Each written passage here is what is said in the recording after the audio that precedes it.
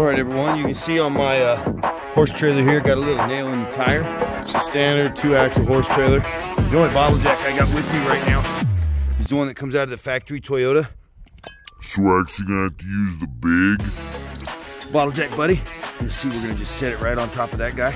We're gonna center it up. We're gonna change out that tire real quick. You see that guy up? All right, got the spare out now. A trick that I would always tell everybody put the spare underneath there if you're gonna go under, you're gonna do any side of work. Also chalk your tires so they don't move and then make sure your front side's down before you jack it up. Just a couple of tips.